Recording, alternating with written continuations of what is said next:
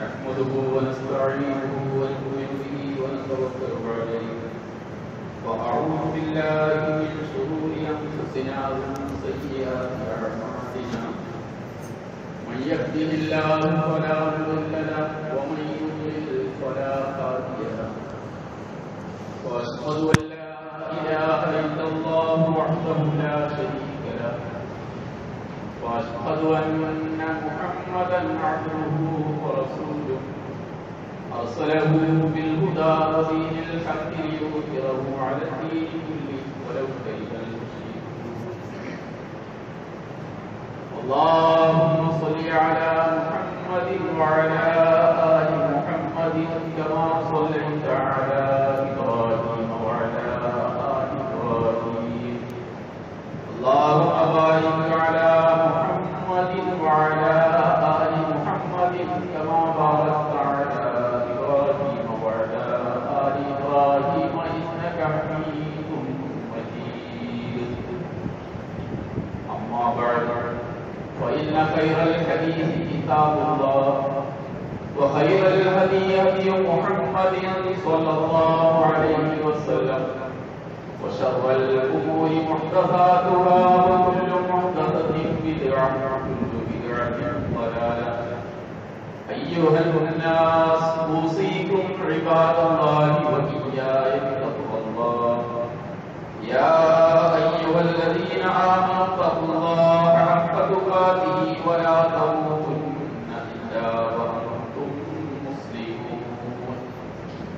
أعوذ بالله من الشيطان الرجيم. بسم الله الرحمن الرحيم. فأرسلنا عليهم الطوفان والجراد والقمل والضفادع والدم آيات مفصلات. فاستكبروا وكانوا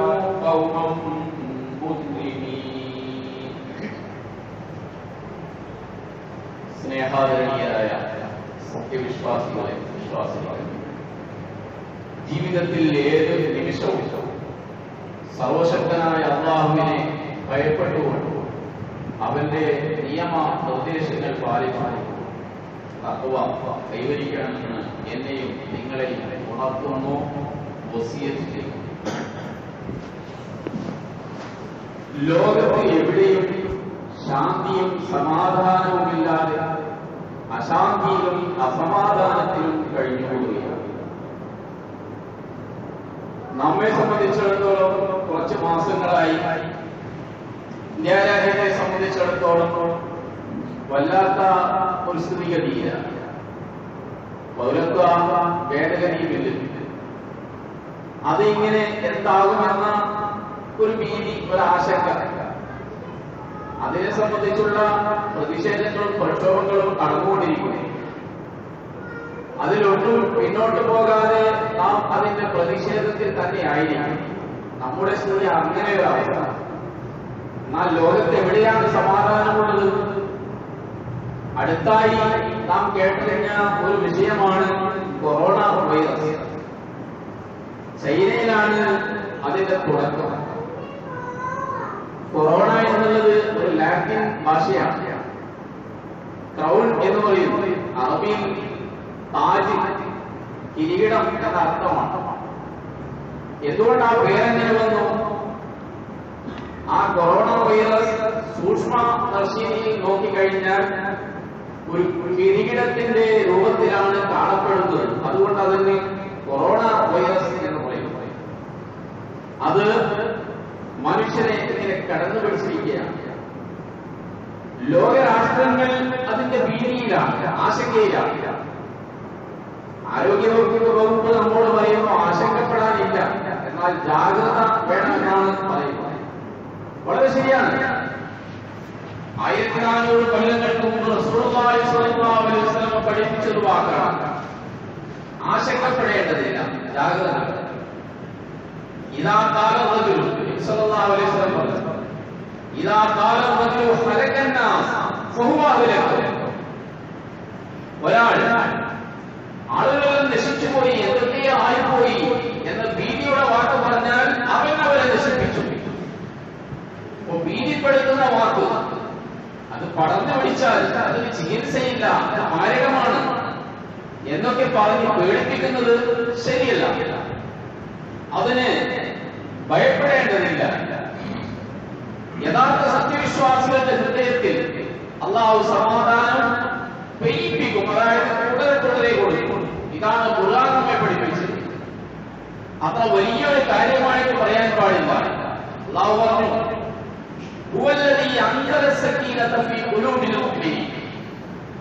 സത്യവിശ്വാസികളുടെ ഹൃദയങ്ങളിൽ അള്ളാഹു സമാധാനം മഴവെയ്യും പോലെ പെയ്യിപ്പിച്ചുകൊണ്ടിരിക്കുന്നതാണ്.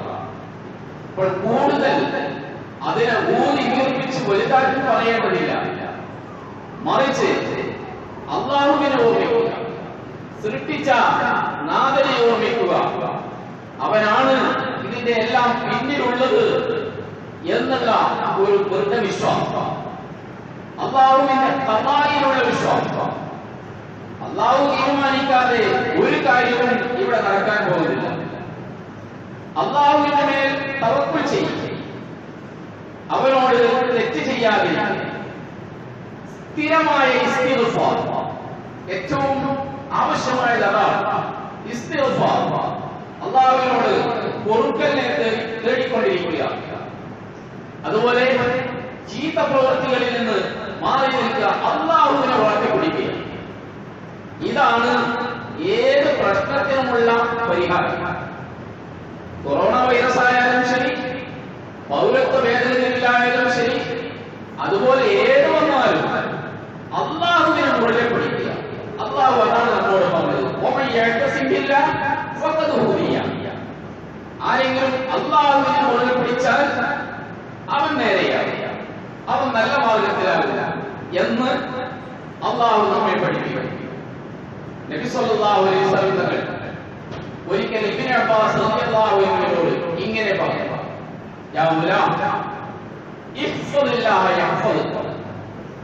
നീ അള്ളാഹുവിനെ സൂക്ഷിച്ചുകൊള്ളുക എന്നാൽ അള്ളാഹു നിന്നെ സ്ഥാപിക്കുക വേണ്ടത് അള്ളാഹുവിനെ സൂക്ഷിക്കുക.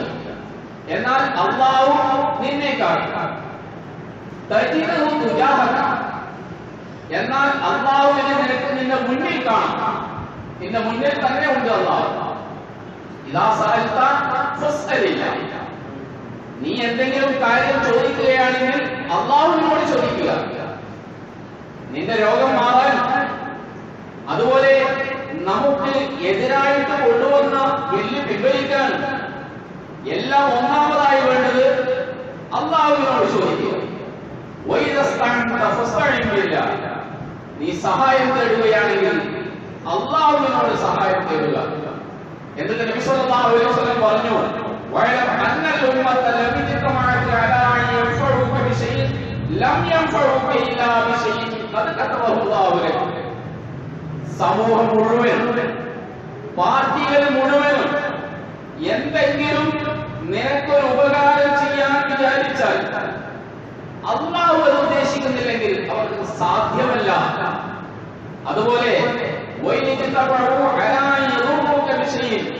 لَمْ يَضُرُّوكَ إِلَّا قَدْ كَتَبَهُ اللَّهُ عَلَيْكَ رُفِعَتِ الْأَقْلَامُ وَجَفَّتِ الصُّحُفُ ലോക ജനങ്ങൾ മുഴുവനും നിനക്കൊരു ബുദ്ധിമുട്ട് നേരിടാൻ വേണ്ടി ഉദ്ദേശിച്ചാൽ എന്ത് ബില്ല് പാസാക്കിയാലും ശരി എന്ത് തീരുമാനമെടുത്താലും ശരി അവൻ ആ ശക്തനായ അള്ളാഹു ഉദ്ദേശിക്കുന്നില്ലെങ്കിൽ സാധ്യമല്ല തന്നെ ഈ ഒരു ദൃഢവിശ്വാസം നമുക്ക് വേണം. തീരുമാനം അള്ളാഹുവിന്റെ അടുക്കൽ നിന്ന് കഴിഞ്ഞു കഴിഞ്ഞു. അതുകൊണ്ട് ആ ഒരു ദൃഢവിശ്വാസത്തിലാണ് നാം ഏതിനെയും നേരിടേണ്ടത്. നമുക്ക് ആശങ്കപ്പെടേണ്ടതില്ല. പക്ഷെ ജാഗ്രത വേണം. അള്ളാഹു നന്മക്ക് നന്മയുണ്ട്. നന്മ പ്രവർത്തിച്ചാൽ നന്മയുണ്ട്. എപ്പോഴും നാം സൂക്ഷിക്കുന്നുവോ അതിന്റെ പിന്നിലാണ് നമ്മെ സൂക്ഷിക്കുന്നത് നാം ആദ്യമായിട്ട് അള്ളാഹുവിനെ സൂക്ഷിക്കുക. അള്ളാഹു നമ്മെ സൂക്ഷിക്കും. ഈ ഒരു തത്വം നമ്മുടെ മനസ്സിൽ ഉണ്ടായി അതുപോലെ നാം മനസ്സിലാക്കേണ്ട കാര്യം ഈ കൊറോണ വൈറസ് പോലെയുള്ള രോഗങ്ങൾ പുതിയതല്ല സത്യവിശ്വാസികളെ സംബന്ധിച്ചിടത്തോളം. കേട്ട് പരിചയമുള്ളതാണ്. അള്ളാഹു താഴ പണ്ടും പണ്ടും തന്നെ ചില സമൂഹത്തെ അള്ളാഹു പരീക്ഷിച്ചിട്ടുണ്ട്. അവൻ നിസ്സാരമായ ജീവികളെ കൊണ്ട് ഈ കൊറോണ വൈറസ് എന്ന് പറഞ്ഞാൽ ശരിക്കും കണ്ണുകൊണ്ട് കാണാൻ കഴിയുന്നതല്ല. സൂക്ഷ്മദർശിനിയിൽ കൂടെ മാത്രമേ അത് നോക്കിയാൽ കാണുകയുള്ളൂ. അത്ര നിസ്സാരമായ ഒരു കൊണ്ടാണ് അള്ളാഹു പരീക്ഷിക്കുന്നത് എന്ന് പറയുമ്പോൾ ആ അള്ളാഹുവിന്റെ കുതിരത്തി എത്ര മാത്രമാണ്? എന്ന് നാം മനസ്സിലാക്കാനുണ്ട്. പണ്ടും ഇതുപോലെ ഉണ്ടായിട്ടുണ്ട്. മൂസാ നബി അലൈഹി ഇസ്ലാമിന്റെ സമൂഹം. ആ സമൂഹം വളരെ ധിക്കാരമായി ജീവിച്ചു. അവർ പല വെള്ളികളും നാട്ടിൽ ചെയ്തു. റബ്ബിനെ അവർ മറന്നു. ഞാനാണ് റബ്ബി എന്ന് ഫിറോൻ വാദിച്ചു. അങ്ങനെ വാദിച്ച ഒരാളെയും കേട്ടിട്ടില്ല. എന്നിട്ട് അള്ളാഹുക്കാരെ എങ്ങനെയാ അവരെ നശിപ്പിച്ചത് ചെയ്തത്? കുറെ ആനകളെ ഇറക്കിയിട്ടൊന്നുമല്ല. അല്ലെങ്കിൽ അറിയാത്ത വേറെ ഏതെങ്കിലും വ്യക്തിയെ ഇറക്കിയിട്ടൊന്നുമല്ല. അള്ളാഹുക്കാരെ ചെയ്തു. അള്ളാഹു. നാം അവരുടെ മേൽ ജലപ്രളയം ഇറക്കി വെള്ളം ഇറക്കി കളഞ്ഞു അവരെ നശിപ്പിച്ചു. അവർ പറഞ്ഞു മൂസ രക്ഷിക്കണം. നീ പ്രാർത്ഥിക്കണം. എന്നാൽ ഞങ്ങൾ രക്ഷപ്പെടും. പ്രാർത്ഥിച്ചു. വെള്ളം വെക്കി പിന്നെയും അവർ അഹങ്കാരത്തിൽ തന്നെ. അള്ളാഹു വിനന്തി ചെയ്തു. ചെറിയൊരു പാവം ജീവിയുണ്ട്. വെട്ടുകിരി എന്ന് പറയും ഒരു ഒരു പച്ചത്തുള്ളനെ പോലെയുള്ള ഒരു സാധനം. അതിനെ വ്യാപകമായി അള്ളാഹു ഇറക്കി. അന്നത്തെ കൃഷികളെല്ലാം അത് നശിപ്പിച്ചു. ആകെ ബുദ്ധിമുട്ടായി ഒന്നും രണ്ടുമല്ല എവിടെയും അത് തന്നെ. മുസാനോട് പറഞ്ഞു പ്രാർത്ഥിക്കണം. മുസാനബി അലൈഹി ഇസ്ലാം പ്രാർത്ഥിച്ചു രക്ഷപ്പെട്ടു. എന്നിട്ട് പിന്നെയും അവർ അഹങ്കരിച്ചു അള്ളാഹു എന്ത് ചെയ്തു? അതിനേക്കാൾ ചെറിയൊരു ജീവി ഉമ്മൽ ഉമ്മലിനെ ഇറക്കി. ചെറിയ ചെള്ള്. ആ ചെള്ള് വ്യാപകമായി വന്നു. അവർ പേടിച്ചു. അവരുടെ ഭക്ഷണ സാധനങ്ങൾ അവരുടെ ഗോതമ്പ് അരി മുഴുവനും അത് നശിപ്പിക്കാൻ തുടങ്ങി. യാതൊരു രക്ഷയില്ല അടിയാൻ പോകുന്നതല്ല. പരീക്ഷിച്ചു അള്ളാഹു. ചെറിയ നിസ്സാരമായ ജീവികളെ കൊണ്ട്. പ്രാർത്ഥിക്കാൻ പറഞ്ഞു മൂസ അലി ഇസ്ലാമിനോട് മൂസ അലി ഇസ്ലാം പ്രാർത്ഥിച്ചു രക്ഷപ്പെട്ടു. പിന്നെയും അവർ അഹങ്കാരികൾ തന്നെ എങ്ങനെയും പാടാൻ പഠിക്കുന്നില്ല. അള്ളാഹു താല എന്ത് ചെയ്തു തവളകളെ ഇറക്കി ഖുർആനാണ് പറയുന്നത്. തവളകളെ. ഒരു തരം തവളകൾ. വ്യാപകമായി എവിടെ? അവരുടെ വിരപ്പിലും കട്ടിയിലും എവിടെ നോക്കിയാലും തവകൾ പല തവളകൾ. യാതൊരു രക്ഷയുമില്ല. പിന്നെന്ത് ചെയ്തു? അള്ളാഹു താല രക്തമിറക്കി അവർ കുടിക്കുന്ന വെള്ളം രക്തം. അവർ ഉപയോഗിക്കുന്ന വെള്ളം രക്തം. എവിടെയും രക്തം. ഒരു രക്ഷയുമില്ല. അങ്ങനെ അള്ളാഹു പറയുന്നു ആയാത്തി മുഫസ്സല. ഒരുപാട് വിശദമായ ഈ ആയത്തിലെ വൃത്താന്തങ്ങൾ ഇറങ്ങി എന്നിട്ടോ വല്ല കാര്യമുണ്ടോ? കാരണം അതിന്റെ പിന്നിലുള്ള രഹസ്യത്തെ സംബന്ധിച്ച് അവർ ചിന്തിക്കുന്നില്ല. നമ്മുടെ സ്ഥിതി അങ്ങനെ തന്നെയാണ്. ഓരോ ഓരോ പ്രശ്നങ്ങൾ വരുമ്പോൾ നമ്മൾ ബാഹ്യമായി ഭൗതികമായി ചിന്തിക്കുക എന്നല്ലാതെ അതിന്റെ പിന്നിൽ ഏതാണ് ശക്തി എന്ന് ചിന്തിച്ചുകൊണ്ട് നാം മുന്നോട്ട് പോകുന്നില്ല. അതാണ് ഇപ്പോഴും പരാജയം അള്ളാഹു പറയുന്നു "ഫസ്തക്ബറൂ വകാനൂ ഖൗമൻ അവർ അഹങ്കരിച്ചു. അവർ ധിക്കാരികളായി കഴിഞ്ഞു. അവരെ അള്ളാഹു നശിപ്പിച്ചു അപ്പോൾ പണ്ടും പണ്ടും ഇതുപോലെയുള്ള പരീക്ഷണങ്ങൾ ഉണ്ടായിട്ടുണ്ട് ധിക്കാരികളെ അവർ ചെയ്യാൻ എന്താണ് ചൈനയുടെ അവസ്ഥ? വുഹാൻ നഗരത്തിൽ നിന്നാണ് അതിന്റെ തുടക്കം. ചൈനകളെ സംബന്ധിച്ച് ചൈനീസിനെ സംബന്ധിച്ച് പറഞ്ഞാൽ അവരൊരു അവരൊരു കമ്മ്യൂണിസ്റ്റ് രാജ്യമാണ്. അവരൊരു സ്വതന്ത്ര രാജ്യമാണ്. അഹങ്കാരികളാണ്. മുസ്ലിങ്ങളെ വല്ലാതെ പീഡിപ്പിക്കുന്ന ഒരു സമൂഹമാണ്. ഉയ്യൂർ മുസ്ലിങ്ങളെ അവിടെ നിന്ന് എന്തൊക്കെ എങ്ങനെയൊക്കെയാണ് പീഡിപ്പിക്കുന്നത് എന്ന് പറഞ്ഞറിയിക്കാൻ സാധ്യമല്ല. അവിടെയുള്ള ആ മുസ്ലിം കുട്ടികളെ ഇസ്ലാമിനെ പറ്റി പഠിക്കാതിരിക്കാൻ വേണ്ടി അവർക്ക് പ്രത്യേകം ഒരു അനാഥാലയം പോലെ ഉണ്ടാക്കി അവിടെ പാർപ്പിക്കും ഇസ്ലാമിനെ സംബന്ധിച്ച് ഒന്നും അവർ കേൾക്കാൻ പാടില്ല വളർന്നു വന്നാൽ ഇസ്ലാമിനെ പറ്റി അവർ ഒന്നും അറിയാൻ പാടില്ല അങ്ങനെയുള്ള ഒരു മനുഷ്യനാക്കി മാറ്റാൻ വേണ്ടി അവർ ശ്രമിച്ചുകൊണ്ടിരിക്കുന്നു. വല്ലാത്ത പീഡനം പറഞ്ഞറിയിക്കാൻ പറ്റുന്നില്ല അള്ളാഹു പരീക്ഷിക്കുകയാണ്. ഇതിന്റെ പിന്നിൽ തന്നെ ആയിക്കൊള്ളണമെന്നില്ല. എല്ലാം അള്ളാഹുവിന്റെ പരീക്ഷണമാണ്. നമുക്കും അതുപോലെ പരീക്ഷണങ്ങൾ വരും. അങ്ങനെ അള്ളാഹു നമുക്ക് പേടിപ്പിച്ചു കളിച്ചു ചൈന വലിയൊരു രാഷ്ട്രമാണ് വലിയൊരു സാമ്പത്തിക രാഷ്ട്രമായി തീർന്നു. എത്രത്തോളം പറഞ്ഞാൽ അമേരിക്കക്ക് പോലും ട്രംപിന് പോലും ചൈനയെ ട്രംപിനെ ആ ഒരു സ്ഥിതിയിലേക്ക് ചൈനയെ അള്ളാഹ് നിമിഷങ്ങൾ കൊണ്ട് ദിവസങ്ങൾ കൊണ്ട് നിമിഷങ്ങൾ കൊണ്ട് തകർത്തെറിയുകയാണ് അള്ളാഹുവിന്റെ ശക്തിയാണ് അവിടെ കാണിക്കുന്നത്. നാം ചിന്തിക്കാനുണ്ട് അവർക്ക് മാത്രമുള്ള ഒരു കാര്യമല്ലാതെ അങ്ങനെ ചൈന മാത്രമല്ല ലോക ലോകരാഷ്ട്രങ്ങൾ ഭയപ്പെടുകയാണ്. പത്ത് പതിനഞ്ചോളം രാഷ്ട്രങ്ങളിൽ ഈ വൈറസ് ഉണ്ട് എന്നാണ് പറയുന്നത്. അതുപോലെ നമ്മുടെ കൊച്ചു കേരളത്തിലും ആ വൈറസ് എത്തിയിരിക്കുന്നു എന്ന് പറയുന്നത് നാം പാഠപ്പെട്ടു ഇതെല്ലാം സത്യവിശ്വാസികൾ പാഠമാണ്. നാം അള്ളാഹുവിനോട് പ്രാർത്ഥിക്കണം. നാം ഭയപ്പെടേണ്ടതില്ല ആശങ്കപ്പെടേണ്ടതില്ല. പക്ഷേ ജാഗ്രത വേണം നടക്കും അന്ത്യനാളാകുമ്പോൾ ഇങ്ങനെയുള്ള പലതും നടക്കുമെന്ന് അള്ളാഹു നമ്മെ അറിയിച്ചിട്ടുണ്ട്. പലതും നടക്കും. മുൻകൂട്ടി പറഞ്ഞിട്ടുണ്ട്. ഈ അന്ത്യനാൾ വരുമ്പോൾ ഇങ്ങനെയുള്ള അടയാളങ്ങൾ വരും എന്ന് പറഞ്ഞത് നാം അള്ളാഹുവിനെ മനസ്സിലാക്കാൻ ലോകാവസാനം അടുത്തിരിക്കുന്നു. ഈ ഒരു വരാനുള്ള ഹിസാബുണ്ട് എന്ന് പഠിക്കാനും വിശ്വസിക്കാനും വേണ്ടിയാണ്. നബി സല്ലല്ലാഹു അലൈഹി വസല്ലം പറഞ്ഞു മാലിക് പറയുന്നു ഞാൻ അള്ളാഹുവിന്റെ റസൂലിന്റെ അടുക്കൽ തബൂക്ക് യുദ്ധ വേളയിൽ റസൂലിന്റെ അടുക്കൽ ചെന്നു. അലൈഹി വസല്ലം നിർമ്മിക്കപ്പെട്ട ഒരു തമ്പിലായിരുന്നു എന്നോട് റസൂലുള്ളാഹി സ്വല്ലല്ലാഹു അലൈഹി വസല്ലം പറഞ്ഞു ആറ് കാര്യം നീ എണ്ണിക്കോ? ആറ് കാര്യം. അന്ത്യനാളിന് മുമ്പ് വരാൻ പോകുന്ന ആറ് കാര്യം. എന്നിട്ട് നബി പറഞ്ഞു മൗത്തി ഒന്നെന്റെ മരണമാണ്. അത് സംഭവിച്ചു കഴിഞ്ഞു. റസൂലുള്ളാഹി സ്വല്ലല്ലാഹു അലൈഹി വസല്ലമയുടെ ജനനവും മരണവും ഖിയാമത്ത് നാളിന്റെ അടയാളമാണ് അവസാനത്തിലാണ് എന്ന അർത്ഥം. പിന്നൊന്ന് പറഞ്ഞത് ബൈബിൾ മുഖദ്ദസിന്റെ വിജയമാണ്. അത് ഒരിക്കൽ നടന്നു കഴിഞ്ഞു ഇനിയും നടക്കാൻ പോകുന്നു. അതുപോലെ പറഞ്ഞ ഒരു വാക്ക്. സുമ്മ മൂത്താനും നിങ്ങൾക്ക് വ്യാപകമായ മരണം സംഭവിക്കും. ആടിന് ഒരു രോഗമുണ്ടാകാം. വായിൽ ഒലിക്കുന്ന ഒരു രോഗം. അത് വന്നു കഴിഞ്ഞാൽ കൂട്ടമായി ചത്തുപോകലാണ് അതുപോലെ നിങ്ങൾക്കും വരും എന്ന് നബി സല്ലല്ലാഹു അലൈഹി വസല്ലം പറഞ്ഞിട്ടുണ്ട്.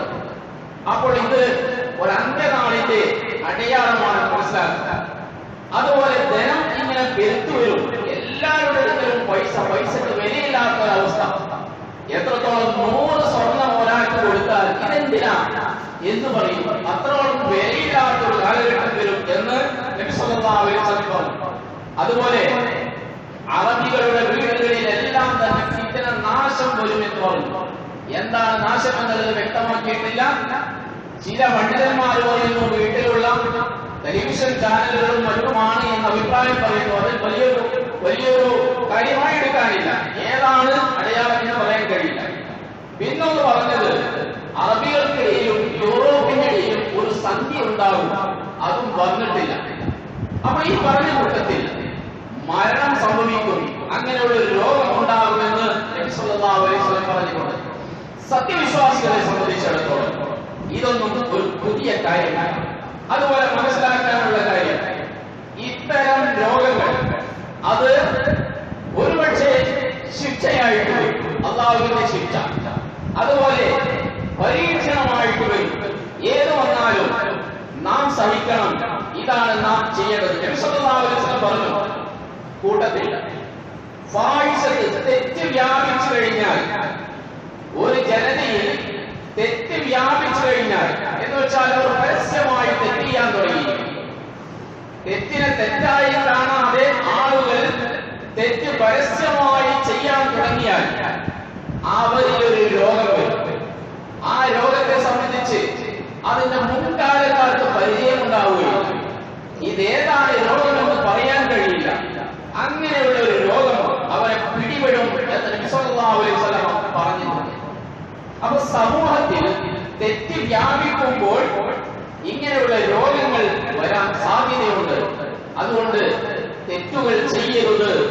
അതുപോലെ തന്നെ മനസ്സിലാക്കേണ്ട കാര്യം. ഒരു രോഗവും ചികിത്സയില്ലാതെ നബി സല്ലല്ലാഹു അലൈഹി വസല്ലം പറഞ്ഞു എല്ലാ രോഗത്തിനും ചികിത്സയുണ്ട്. എന്നാൽ ഇപ്പോൾ പറയുന്നത് കൊറോണ വൈറസിന് ചികിത്സയില്ല എന്നതാണ്. അവിടെ മനസ്സിലാക്കേണ്ടത് അതിന്റെ ചികിത്സ കണ്ടെത്തിയിട്ടില്ല എന്നതാണ്. വിശ്വകരന്മാർ അതിനെപ്പറ്റി ചിന്തിച്ച് അവർ പിൽക്കാലത്ത് അവർ കണ്ടെത്തുമെന്നുള്ള കാര്യം ഉറപ്പാണ്. നബി സല്ലല്ലാഹു അലൈഹി വസല്ലം പറഞ്ഞു ഏത് രോഗത്തിനും ചികിത്സയുണ്ട്.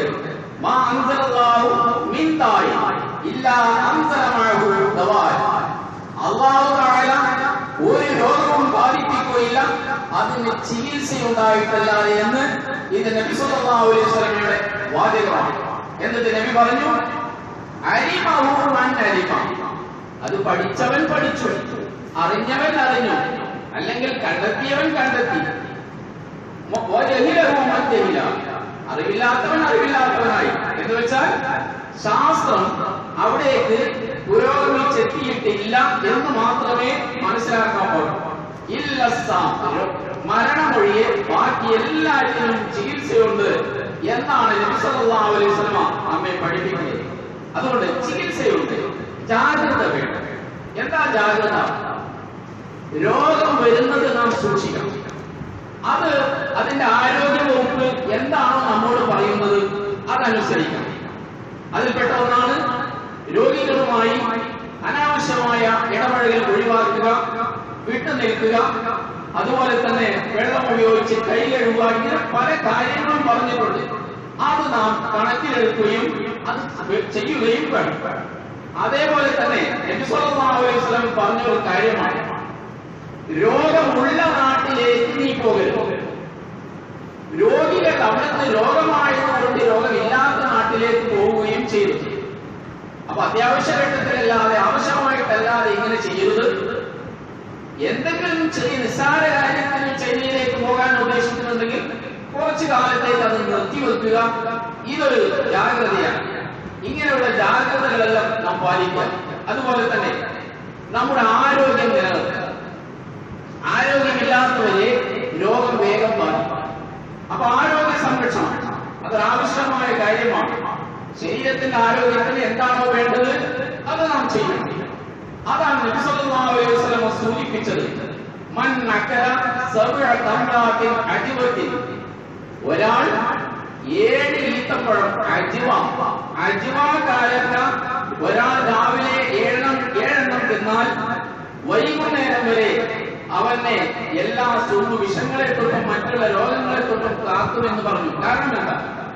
ഈ അജിവ കാലത്തെയും രാവിലെ മുതൽ വൈകുന്നേരം വരെ ഏഴ് കാലത്തെയും അവന്റെ ശരീരത്തിന് വേണ്ടുന്ന പോഷകം അടങ്ങിയിട്ടുണ്ട്. അത് വേണം.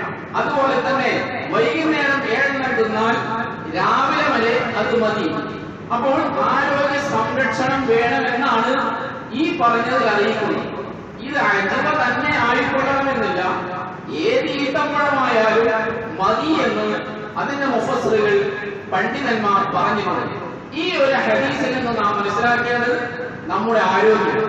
നമ്മുടെ ആരോഗ്യത്തെ നാം രക്ഷിക്കേണ്ടതാണ് സംരക്ഷിക്കേണ്ടതാണ് എന്ന് നാം മനസ്സിലാക്കുക അതുപോലെ തന്നെ ഈ ചികിത്സ നമ്മുടെ ആരോഗ്യത്തെ സംരക്ഷിക്കുന്ന മുൻകൂട്ടി കരുതുക എന്നുള്ള ഈ വ്യവസ്ഥ തവക്കുലിനെതിരല്ല തവക്കുലിനെതിരല്ല ഇത് നാം ചെയ്യുക. ചെയ്യേണ്ടതെല്ലാം ചെയ്തതിന്റെ ശേഷവും വരുന്നുണ്ടെങ്കിൽ അത് കാക്കേണ്ടത് അള്ളാഹുവാണ്. കാക്കാതിരിക്കുന്നതും അള്ളാഹു ഒരാൾ നബി സല്ലല്ലാഹു അലൈഹി വസല്ലമയോട് ചോദിച്ചു അള്ളാഹുവിന്റെ ഞാൻ എന്റെ ഒട്ടകത്തെ അഴിച്ചുകൊണ്ടേക്കട്ടെ എന്റെ ഒട്ടകത്തെ അഴിച്ചു പിടിച്ച് ഞാൻ അള്ളാവിൽ തവക്കുലാക്കട്ടെ എന്നാൽ ആ ഒട്ടകം എവിടെയായാലും എത്തിക്കൊള്ളുമല്ലോ. നബി സല്ലല്ലാഹു അലൈഹി വസല്ലം പറഞ്ഞു പറ്റൂല. അതിനെ കെട്ടിയിടണം. എന്നിട്ട് തവക്കണം എന്നാണ് നബി സ്വലം പഠിപ്പിച്ചത്. അപ്പൊ രോഗം വരുന്നതിനുള്ള പ്രതിരോധ നടപടിയും അതുപോലെ തന്നെ മുൻകരുതലുകളും ആവശ്യമാണ്.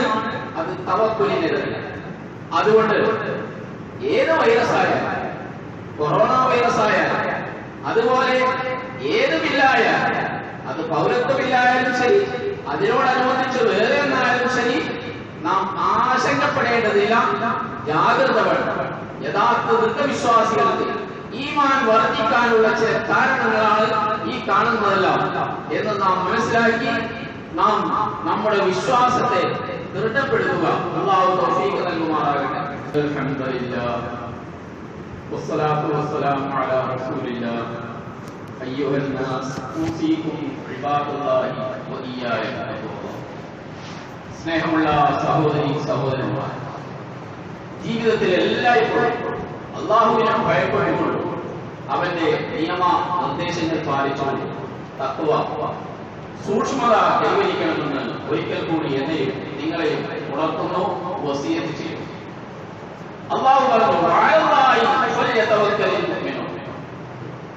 വരമേൽപ്പിക്കുന്നവർ അള്ളാഹുവിന്റെ മേൽ വരമേൽപ്പിച്ചുകൊള്ളട്ടെ നമ്മുടെ എല്ലാ കാര്യവും വരമേൽപ്പിക്കേണ്ടത് അള്ളാഹുവിന്റെ മേലാണ്. ഇങ്ങനെയുള്ള പ്രശ്നങ്ങൾ വരുമ്പോൾ നാം വേറെ എവിടെയോ എത്തിപ്പോകരുത്. ചില ആളുകൾ നമ്മെ സ്വത്തിലേക്ക് എത്തിക്കുന്ന കാര്യങ്ങൾ ഉപദേശിച്ചു ബദർ മുതൽ ചെല്ലാൻ പറയും മങ്കുസ് ചെല്ലാൻ പറയും മജിസ് മജിലിസുന്നൂർ ചെല്ലാൻ പറയും നാരിയത്ത് സലാത്ത് ചെല്ലാൻ പറയും അങ്ങനെയുള്ള വിദ്യാർത്ഥികളിലേക്ക് എത്തിക്കാൻ അവർക്കുള്ള ഒരു അവസരമാണ് ഇപ്പോൾ. അതിൽ നാം വീണു പോകരുത്. അള്ളാഹു എന്താണോ പറഞ്ഞത് അവിടെ നിൽക്കുക അള്ളാഹു പറഞ്ഞു അള്ളാഹുവിനെ പറ്റി അള്ളാഹു നമ്മോട് പരിചയപ്പെടുത്തി. "വൈദാ സാലക ഇബാദി അന്നി ഫഇന്നി ഖരീബ്." നബിയെ നിന്നോട് എന്റെ അടിമകൾ ചോദിക്കും എന്നെ പറ്റി. ഞാൻ എവിടെയാ? എന്റെ സ്ഥിതി എന്താണ്? എന്ന് ചോദിക്കും. എന്നാൽ അവരോട് നീ പറയണം ഞാൻ സമീപസ്ഥനാണ്. അവന്റെ അടുത്ത് തന്നെ ഞാനുണ്ട്. എന്നോട് ചോദിച്ചാൽ ഞാൻ അവന് ഉത്തരം കൊടുക്കും. എന്ന് നബിയെ അവർക്ക് പറഞ്ഞു കൊടുക്കണമെന്ന് അള്ളാഹു പറയും. മനസ്സിലാക്കേണ്ടത് നമ്മുടെ ഏറ്റവും അടുത്തുള്ളത് അള്ളാഹുവാണ് എല്ലാറ്റിനും കഴിവുള്ളവൻ അള്ളാഹുവാണ് സംരക്ഷിക്കാൻ കഴിവുള്ളവൻ അള്ളാഹുവാണ് ലോകത്തിറങ്ങിയ കൊറോണ വൈറസിനെ നശിപ്പിക്കാൻ കഴിവുള്ളവൻ അള്ളാഹുവാണ് ആ അള്ളാഹുവിനോട് നാം ചോദിക്കുക പ്രാർത്ഥിക്കുക. മുഹീദി ചെയ്തിനോ റിഫായ് ചെയ്തിനോ അല്ലെങ്കിൽ ബദീങ്ങൾക്കോ ഒന്നും തന്നെ ഇതിന്റെ കഴിവ് അള്ളാഹു കൊടുത്തിട്ടില്ല. കൊടുത്താൽ തന്നെ നാം അത് ചോദിക്കാനും പാടില്ല. അവരേത് നിലയിലാണോ ജീവിച്ചത് അവർ ഏത് വിശ്വാസത്തിലാണോ ഉണ്ടായിരുന്നത് അതേ വിശ്വാസത്തിലായിരിക്കണം. അവരാരെയാണോ ആരാധിച്ചത് അവരാരോടാണോ ചോദിച്ചത് അതുപോലെ ആയിരിക്കണം നാം. അള്ളാഹുവിനോടാണ് അവരെല്ലാം ചോദിച്ചത്. അള്ളാഹുവിനോട് അള്ളാഹുവിനാണ് അവർ അർപ്പിച്ചത് കാര്യങ്ങൾ അതുപോലെ നാമും ചെയ്യേണ്ടതാണ് എന്ന കാര്യം നാം ഉറപ്പിച്ച് വിശ്വസിക്കാം. അതോടൊപ്പം പറയാനുള്ളത് അള്ളാഹു ചില ദിക്കുകൾ ചില തസ്മീകളെല്ലാം പഠിപ്പിച്ചിട്ടുണ്ട്. അത് ഒഴിവാക്കാനും പാടില്ല. അറിയാമല്ലോ യൂനുസ് നബി മത്സ്യത്തിന്റെ വയറ്റിൽ നിന്ന് എന്ത് പറഞ്ഞു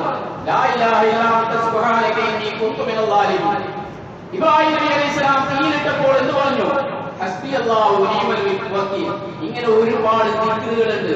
അതൊന്നും മറന്നു പോകരുത് നബി വസല്ലം പഠിപ്പിച്ച ദിക്റുകൾ ദുവാകൾ നമ്മുടെ ജീവിതത്തിൽ കൊണ്ടുവരണം ദുവാകൾ കലർന്ന് വിഷമഘട്ടത്തിൽ പ്രാർത്ഥിക്കുന്ന ഒരു പ്രാർത്ഥന. അത് നാം പഠിച്ചു വെക്കണം.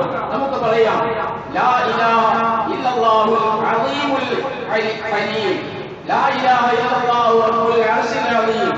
ലാ ഇലാഹ ഇല്ലല്ലാഹു റബ്ബുസ് സമാവാതി വറബ്ബുൽ അർളി വറബ്ബുൽ അർശിൽ കരീം. ഇത് വിഷമഘട്ടത്തിൽ പ്രയാസഘട്ടത്തിൽ ചൊല്ലേണ്ടുന്ന ഒരു നിക്കറാണ് ഒരു തസ്ബിയ ഇതൊക്കെ നാം മനസ്സിലാക്കുകയും പഠിക്കുകയും അത് ജീവിതത്തിൽ കൊണ്ടുവരികയും ചെയ്യണം. അല്ലാതെ ഒന്നുമില്ല അതെല്ലാം കണക്ക് തന്നെ അള്ളാഹു കൽപ്പിച്ചത് വരും ഇതൊന്നും നാം പറയേണ്ടതില്ല എന്ന് പറഞ്ഞ് ഒഴിവാക്കാൻ പറ്റില്ല. സത്യം സത്യമായി മനസ്സിലാക്കി അത് ഉൾക്കൊണ്ട് ജീവിക്കാനുള്ള തന്റെ ഇടം കഴിവും തൗഫീഖും അള്ളാഹു നമുക്ക് ഏവർക്കും നൽകുമാറാകട്ടെ. നമ്മുടെ എല്ലാ തെറ്റ് കുറ്റങ്ങളും അള്ളാഹു പുറത്തു തരട്ടെ. നമ്മുടെ എല്ലാ ഹലാലായ ഉദ്ദേശങ്ങളും അള്ളാഹു എളുപ്പത്തിൽ പൂർത്തീകരിച്ച് നമ്മുടെ എല്ലാ രോഗങ്ങളും അള്ളാഹു എളുപ്പത്തിൽ ശിഫിയാക്കി തരുമാറാകട്ടെ. നമുക്ക് വന്നിട്ടുള്ള എല്ലാ പ്രതികൂല സാഹചര്യങ്ങളെയും അള്ളാഹു തട്ടി ദൂരത്താക്കി അള്ളാഹു നമ്മെ നമ്മൾ മുസ്ലിങ്ങൾക്ക് ഇന്ത്യയിലുള്ള പ്രത്യേകിച്ച് ഇന്ത്യയിലുള്ള മുസ്ലിങ്ങൾക്ക് അള്ളാഹു ഇസ്സത്ത് പ്രധാനം ചെയ്യുമാറാകട്ടെ. നമുക്കെതിരായി കൊണ്ടുവന്ന ബില്ല് അവരെ കൊണ്ട് തന്നെ അള്ളാഹു പിൻവലിപ്പിക്കുമാറാകട്ടെ. നമ്മയും നമ്മുടെ മാതാപിതാക്കൾ ഭാര്യ സന്താനങ്ങൾ സഹോദരി സഹോദരന്മാർ നമ്മുടെ കുടുംബാധികൾ നമ്മുടെ ഗുരുനാഥന്മാർ നമ്മുടെ ശിഷ്യന്മാർ നമ്മെ സഹായിച്ചവർ നമ്മോട് ദ്വാരോട് എല്ലാവരെയും നാളെ അപര്യങ്ങളോടുകൂടെ തന്നെ സ്വർഗത്തിൽ ഒരുമിച്ച് കൂട്ടുമാറാകട്ടെ. اللهم اغفر للمؤمنين والمؤمنات والمسلمين المسلمين والمسلمات الأحياء منهم والأموات إنك مجيب الدعوات يا قاضي الحاجات. اللهم أجرنا من النار اللهم أجرنا من النار اللهم أجرنا من النار. ربنا ظلمنا أنفسنا وإن لم تغفر لنا وترحمنا لنكونن من الخاسرين. ربنا آتنا في الدنيا حسنة وفي عذاب النار